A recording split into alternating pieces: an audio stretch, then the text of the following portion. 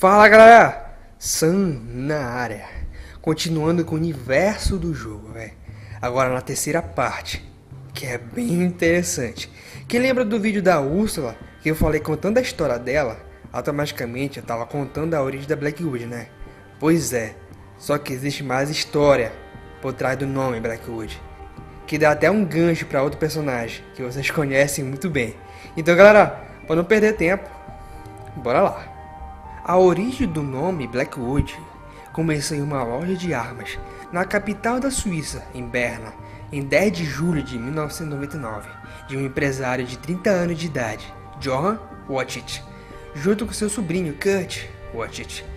Antes deles abrirem a loja, eles precisavam de um nome, né? uma marca, para serem logo conhecidos. E rapidamente, o Kurt disse logo um nome ao seu tio, Blackwood. Na tradução correta, Floresta Negra. Em seguida, Kurt pensou logo em um emblema. Ele queria pôr um leão, só que não ia dar muito certo, pela complexidade. Então ele optou por algo mais simples, uma águia. Mas depois pensou melhor, que tal uma asa de águia? Aí sim, ficou melhor a opção. Então desenhou a asa em estilo minimalista, que é uma arte mais simples possível, mas que você consegue identificar logo de cara. Então colocou a asa vermelha em um fundo branco. Então, em 4 de dezembro de 1999, começou oficialmente a sua loja de armas, que podia encontrar não só pistolas e sim rifles. Às vezes, o próprio Johan projetava armas, e a sua loja foi aberta no tempo certo, por causa que já tinha considerado o direito de posse de armas. Aí pronto. Então, em dezembro de 2002, eles já tinham quase meio milhão de dólares guardado, velho, pelo lucro das vendas. Então eles decidiram fazer algum investimento, alguma compra de ações em alguns bancos e tal. E nesse momento ele teve uma tempestade de neve intensa no local, que a queda de visitante caiu muito, mas logo o sino da porta tocou. Era um cliente. E com isso, Johan começou a analisar a aparência do seu cliente. Loiro, terno preto, camisa branca e uma gravata vermelha. Ele viu logo suas botas de inverno, que eram de elite, velho, e percebeu: é um rico. o pobre não era. Então logo o cliente chegou no balcão e o John falou: Bem-vindo à loja de armas Blackwood. Como posso ajudá-lo? O cliente respondeu: Blackwood, velho, nome interessante.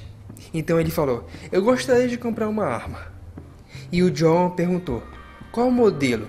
E por qual motivo? O cliente não respondeu o motivo, mas perguntou logo: Quais as pistolas vocês têm? Então John ofereceu logo a CZ-75 e o cliente gostou da arma, então ele foi logo testar a arma no campo de tiro.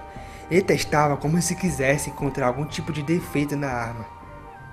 Então em seguida, o cliente falou: É estranho você me recomendar uma CZ-105, uma das armas mais populares do mundo, uma pistola popular. Eu preferia algo um pouco mais incomum. Então Johan começou a falar um monte de coisas para ele em relação a armas incomuns, como Desert Eagle Gold, a Water WM2000. Falou também sobre apenas vender armas para proteção pessoal, de acordo com a lei do país, né? Claro. Mas mesmo assim, em seguida, o cliente logo fez outra pergunta, interrompendo John. Vocês têm alguma arma rara? Então, para não perder o cliente, ele ofereceu sua arma favorita, que ele mesmo projetou, a CZ-100 que ele mesmo redesenhou da CZ75 com um aspecto moderno e bem exclusivo. O cliente adorou a arma, velho, e já comprou. E enquanto o cliente estava saindo, o Kurt perguntou: Você conhece algum banco para fazer investimento? E o cliente logo respondeu: Ah, tem o Banco Bayman Brothers e o Banco Headline, um banco que está sempre crescendo. E galera, você já deve conhecer o banco, né? Bayman Brothers. Pois é, quem já viu o vídeo da Úrsula sabe o que eu tô falando, enfim. Então eles decidiram seguir o conselho do cliente misterioso. Então, com esse investimento, deu muito certo. Com tanto trabalho, eles realmente agora ficaram muito ricos, velho. Mas aí as coisas começaram a dar errado. Olha só. Primeiro, por um anúncio de jornal dizendo: Apesar da empresa Headline ter sido capaz de aumentar o preço de suas ações em 14%, mas depois de alguns dias, a empresa teve que anunciar sua falência. Como se viu, dois homens de negócio da Suíça comprou uma participação de 90% durante a crise, velho. Quer dizer, quando o John fez o investimento, não sabia que estava tendo uma crise. Então depois eles trocaram suas ações de volta para a capital, retirando o mesmo lucro. Na sequência da operação, a empresa deve mais de 100 milhões de dólares. Em consequência disso, tinha que anunciar a sua falência. Com isso, afetou bem pior outros bancos, velho, como Maya Enterprise e o Bremen Brothers. A dívida total ultrapassou 3 bilhões, velho. A falência aconteceu por causa que não estava conseguindo pagar os funcionários, velho. Simples assim. Com isso que aconteceu aquela revolta dos investidores para se vingar dos banqueiros, velho. Então, galera, agora você já sabe o porquê do banco Bremen Brothers faliu. E aconteceu todo aquele negócio no vídeo da Ursula, velho. Tudo por causa do investimento no momento e no lugar errado que o cliente misterioso aconselhou a John. Duvido nada que o cliente fez isso de propósito, velho. Então, depois de tudo isso que aconteceu, John decidiu dar uma reformulada na empresa. Contratou seu primo e mais dois amigos para dar uma organizada na empresa, para ser mais independente. Depois de anos de trabalho, em 2009, a empresa Blackwood já estava entre as três melhores empresas de produção de armas. Mas apesar de estarem agora bem sucedidos no mercado mundial, eles logo foram surpreendidos por um acontecimento muito sério, velho. E quem viu o vídeo da Úrsula também vai lembrar. Em 9 de março de 2012, houve aquele ataque terrorista no Rio de Janeiro, que matou cerca de 1.300 pessoas. Como logo se tornou claro para eles, eles viram que tinham o mesmo nome da empresa, Blackwood, e um emblema semelhante, mas não igual. Mas agora pensa a onda que isso deu, velho. Terrorista usando o mesmo nome da empresa. Logo também foi espalhado pelo mundo um vídeo com os mesmos terroristas usando o nome. Agora pensa, velho. Centenas de ações judiciais, velho, dos parentes dos mortos do ataque e também milhares de repórteres tentando invadir o escritório da empresa para encher de perguntas, né, velho? Mas mesmo assim, John marcou uma entrevista de imprensa em 15 de março para responder todas essas perguntas, velho. Tava com consciência limpa, né? Agora o cara não ia se esconder. Com todas as perguntas dos repórteres, John respondeu todas tranquilamente que sua empresa não tinha nada a ver com o ataque que também os historistas estavam usando as armas que a empresa não produzia. Mas em questão ao nome e o logo, ele respondeu que acha que pode ter sido algo bem planejado para usar o nome de uma empresa em um ataque.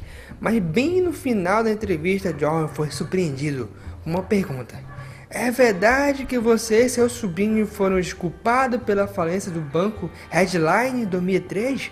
Véi, com isso, ele não quis responder e diz entrevista encerrada, pessoal. Mas logo com o tempo, o Tribunal Internacional de Justiça considerou o incidente e rejeitou todas as aplicações na direção da empresa Blackwood. No mesmo ano, as Nações Unidas, que é a ONU, teve uma iniciativa. Criou uma nova unidade para fins especiais, com o nome é, Warface do mesmo jeito que eu tinha mencionado no vídeo da Úrsula. Com tudo isso, agora você entende melhor toda essa parte da história, velho. Aí logo o John foi informado pelas Nações Unidas que sua empresa ia ser monitorada pelo Orpheus. No entanto, galera, olha só, em 29 de julho de 2013, John teve uma noite normal, como estava tendo nos dias anteriores. Um tumulto em sua empresa se acalmou. Com isso, ele começou a pensar em outros tipos de produção, mas no momento ele foi logo interrompido por um guarda da empresa, dizendo que tinha seis pessoas de terno na frente da empresa. Aí começou outra onda, velho. Olha só. Aí de repente ele escutou tiroteio e gritou: O que está acontecendo? em um rádio ele escutou mais uma vez: Tem seis pessoas de terno na frente da empresa. O problema é que eles estão de máscara, velho. E logo o cara do rádio, que é outro guarda, gritou: Johan! Agora pronto. Johan percebeu, alguma coisa de ruim aconteceu, velho. Em seguida, o alarme do edifício foi acionado, junto com uma voz de outro guarda. Atenção a todos! O edifício está sendo invadido por pessoas de ternos. Preparem para neutralizá-los. Aí começou uma guerra dentro do edifício. Era tiro para tudo que é lado, velho. John logo se preparou e pegou sua arma. Ele escutava tiro por todos os lados, velho. Ele percebeu que os tiros estavam chegando mais perto, velho. Então ele logo se preparou na frente da porta, para qualquer coisa. Mas alguém estava batendo em sua porta, que estava trancada. Mas viu que alguém era desesperado. E ele abriu e viu que era seu primo, sangrando, velho. Ele ainda estava vivo. Depois John analisou os atiradores. Ele viu que tinha um homem alto e outro, uma mulher, com cabelo grisalho, velho. Então o homem chegou perto de John e apontou a arma em sua cabeça, velho. Ele analisou o homem e perguntou: Quem é você? O que você quer, velho? Quer dinheiro? Te dou tudo. Mas não mata a gente, velho.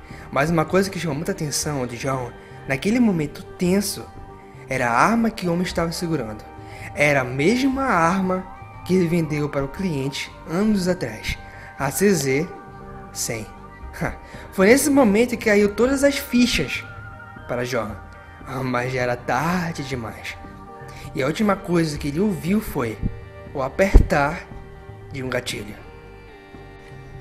Foi exatamente o que aconteceu. Tomaram a empresa. Então, em agosto, as coisas começaram a ficar estranhas. Primeiro que muitos membros da imprensa começaram a ficar preocupados com o fato que a empresa Blackwood não responderam ao convite para uma próxima entrevista. Mas aí alguns jornalistas começaram a notar uma coisa, que o logotipo da empresa estava pouquinho diferente. Apenas giraram em 45 graus e o fundo básico tornou posição vertical e não horizontal, como era. Então, desde o início de 2016, começou ativamente a comprar pequenas e médias empresas em todo o mundo. Todas essas ações só melhoravam as condições econômicas da empresa o que ajudou a comprar mais e mais empresas. E em 2022, que a empresa Blackwood finalmente virou uma mega corporação. Aí, em 9 de novembro de 2023, houve um ataque terrorista, que já estava sendo chamado de ataque terrorista Blackwood, que houve cerca de 30 mil vítimas. Blackwood já tinha tomado quase todo o controle, velho. Até um piloto de caça conseguiu acabar com o Homem-Bomba. Conseguiu capturar uma imagem, o logotipo da empresa, e viram que era o mesmo visto no ataque de 9 de março em 2012.